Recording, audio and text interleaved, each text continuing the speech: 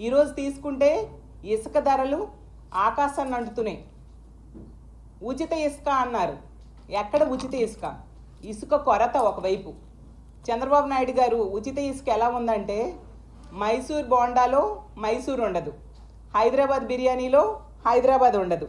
అలాగే నేతి బీరకాయలో నెయ్యి ఉండదు. అలాగా ఉచిత ఇసుకలో ఉచితం ఉండదు. దాని వలన ఈరోజు భవన నిర్మాణ కార్మికులకి ఉపాధి లేక ఇసుక కొరత వలన దొరికిన ఎక్కువ ధరకి దొరకడంతో ఉపాధి లేక వాళ్ళ జీవితాలు ఈరోజు కుదేలైపోయాయి. అలాగే చిరుద్యోగులకు ఉన్నదే అరాకొర జీతం. దానికి తోడు ధరలు పెరిగిపోవడంతో వాళ్ళు ఎలా బ్రతుకుతారు? అలాగే తీసుకుంటే రైతులు ఒకవైపు వరదలు ఇంకోవైపు తీసుకుంటే కరువు ఇంకోవైపు ధరలు. ఈ కూటమి ప్రభుత్వంలో అన్ని వర్గాల ప్రజలు కూడా వాళ్ళ జీవితాలు కుదేలైపోయి ఎలా బ్రతకాలో తెలియని పరిస్థితి. చంద్రబాబు నాయుడు గారు ధరల అదుపు మీద ఏమాత్రం దృష్టి పెట్టని పరిస్థితి మనకు కనిపిస్తూ ఉంది. అసలు ఈ కూటమి ప్రభుత్వం అధికారంలోకి వచ్చాక అసలు ప్రజలందరూ కూడా ఏ రకంగా ఒకవైపు శాంతి భద్రతలు లేవు ఒకవైపు ధరలు పెరిగిపోతూ ఉన్నాయి పరిపాలన అస్తవ్యస్తంగా ఉంది ఎంతసేపు రెడ్ బుక్ రాజ్యాంగం అమలు మీదే దృష్టి పెడుతున్నారు తప్ప ధరల నియంత్రణ మీద ఇలాంటి సమస్యల మీద ప్రజా సమస్యల మీద ఏమాత్రం దృష్టి పెట్టని పరిస్థితి ఈ రాష్ట్రంలో కనిపిస్తూ ఉంది. ఈరోజు తీసుకుంటే టమాటా ధరలు తారెత్తించే పరిస్థితి. బంగాళదుంపల ధరలు అయితే బగబగా మండిపోతూ ఉన్నాయి.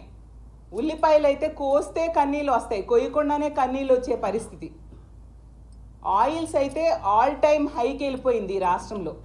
కూరగాయలు పొయ్యి మీద పెట్టకుండానే కొత్త కొత్త ఉడుకుతున్నాయి. అంత ఘోరంగా ధరలు ఉన్నాయి ఇలా అన్ని రకాలుగా పప్పుల ధరలు అయితే నిప్పుల్లా కాలిపోతూ ఉండే పరిస్థితి. అన్ని రకాల ధరలు కూడా ఈరోజు ఆకాశాన్ని అంటుతూ ఉన్న పరిస్థితి.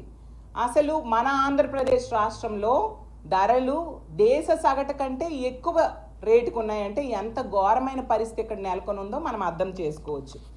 అలాగే మనం చూస్తే చంద్రబాబు నాయుడు గారు ముఖ్యమంత్రి కాకముందు మే థర్డ్న ధరలు తీసుకుందాము. టొమాటో మే థర్డ్న ఇరవై మూడు రూపాయలు ఉంటే ఈరోజు నూట పది రూపాయలు ఉంది అలాగే ఉల్లిపాయలు మే మూడవ తేదీన ఇరవై ఐదు రూపాయలు ఉంటే ఈరోజు ఎనభై రూపాయలు కొనాల్సిన పరిస్థితి. అలాగే బెండకాయలు మే మూడో తేదీన అంటే చంద్రబాబు నాయుడు గారు ముఖ్యమంత్రి కాకముందు ముప్పై ఐదు రూపాయలు ఉంటే ఈరోజు డెబ్బై రూపాయలు ఉంది అలాగే వంకాయలు అప్పుడు ముప్పై రూపాయలు ఉంటే ఇప్పుడు డెబ్బై రూపాయలు. అలాగే బీరకాయలు అప్పుడు చంద్రబాబు నాయుడు గారు ముఖ్యమంత్రి కాకముందు నలభై ఐదు రూపాయలు ఉంటే ఈరోజు ఎనభై రూపాయలు. అలాగే బీన్స్ అప్పుడు యాభై రూపాయలు ఉంటే ఈరోజు నూట ఇరవై రూపాయలు. క్యాప్సికమ్ అప్పుడు నలభై ఐదు రూపాయలు ఉంటే ఈరోజు వంద రూపాయలు. అసలు వెల్లుల్లిపాయలు అంటే అసలు గతంలో ఎన్నడూ లేనట్టుగా ఈరోజు నాలుగు వందల నలభై రూపాయలు ధర పలుకుతూ ఉంది. సామాన్యులు ఎలా బ్రతుకుతారు? అసలు ఏ కూరగాయలు తీసుకున్నా కేజీ డెబ్బై రూపాయల కంటే తక్కువ దొరకట్లేదు. ఆయిల్స్ అయితే లీటర్కి పదిహేను నుంచి ముప్పై రూపాయలు పెరిగిపోయింది. అలాగే తీసుకుంటే పప్పుల ధరలు ఇరవై శాతం పెరిగిపోయాయి. అలాగే వంట నూనెలతో పాటు పామాయిల్ సన్ఫ్లవర్ వేరుశెనగ అన్ని ధరలు కూడా ఇలా ఆకాశాన్ని అంటుతూ ఉంటే ప్రజలు ఎలా బ్రతుకుతారని నేను ప్రశ్నిస్తూ ఉన్నాను. ప్రభుత్వం ఏం చేస్తుంది?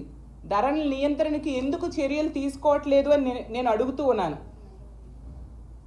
ఒకవైపు అప్పుడు జగనన్న అధికారంలో ఉండేప్పుడు మనం చూసాం ఎన్నో పథకాలు పేద ప్రజల కోసం వాళ్ళ జీవితాలకి సహకారం అందించడం కోసం ఒకవైపు అమ్మఒడి ఇచ్చేవారు విద్యా దీవెని ఇచ్చేవారు వసతి దీవెని ఇచ్చేవారు మత్స్యకార భరోసా అలాగే వాహన మిత్ర ఇచ్చేవారు అలాగే చేయూత మహిళలకి సున్నా వడ్డీ ఇచ్చేవారు రైతులకు సున్నా వడ్డీ ఇచ్చేవారు రైతు భరోసా ఇచ్చేవారు. ఇన్ని పథకాలు ఇచ్చి వాళ్ళకి ఆర్థికంగా ఆదుకోవడమే కాకుండా ధరలు కూడా అదుపులో ఉంచడం కోసం ధరల స్థిరీకరణ నిధిని అప్పుడు ఏర్పాటు చేశారు.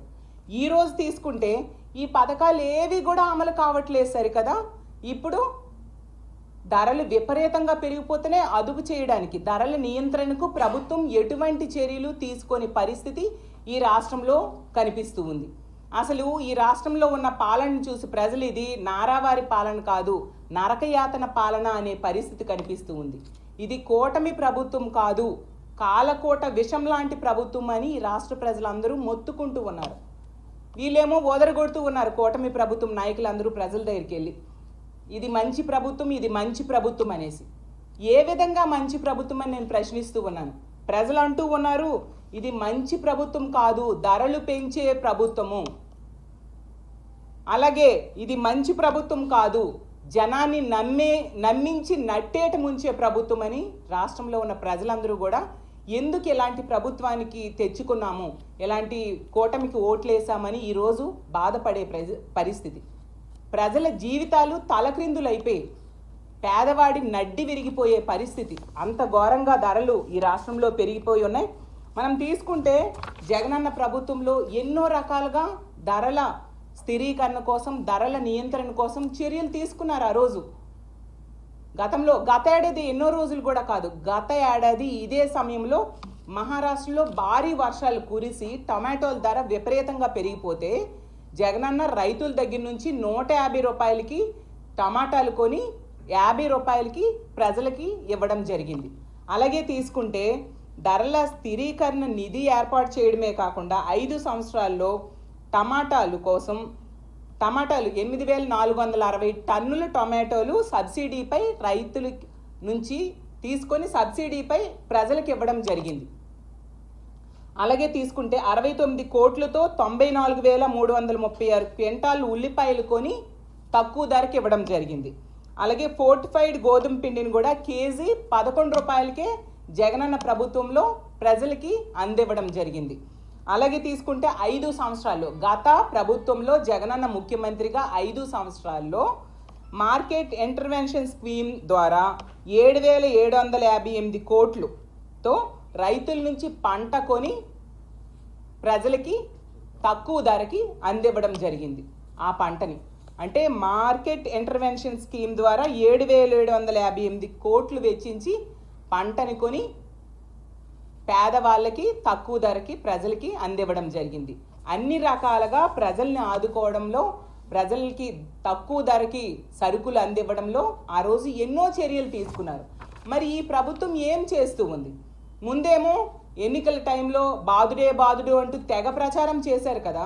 చంద్రబాబు నాయుడు గారు పవన్ కళ్యాణ్ గారు లోకేష్ గారు ఇప్పుడు ఉన్న మంత్రులు ఎమ్మెల్యేలు తెగ ప్రచారం చేశారు. మరి ఇంత ధరలు పెరిగిపోతుంటే ఇప్పుడు ఎందుకు మాట్లాడలేదు? ఏ చర్యలు ఎందుకు తీసుకోవట్లేదు మీరు?